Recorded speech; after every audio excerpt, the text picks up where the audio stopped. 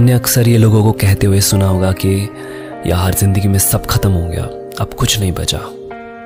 Well well, ज़िंदगी में खत्म होने जैसा कुछ भी नहीं होता। हमेशा एक नई शुरुआत आपका इंतज़ार कर रही होती है।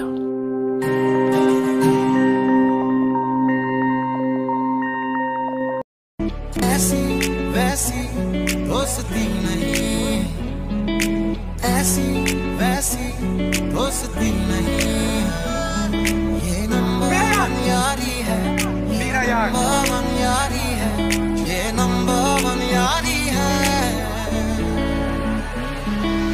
तू रूठा तो कौन हंसेगा?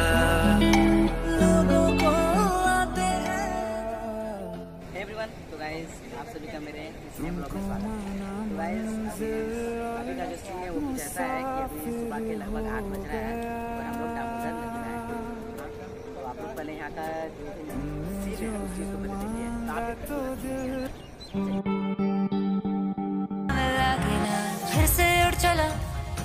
उड़ के छोड़ा है जहान नीचे, मैं तुम्हारे अब हूँ हवाले।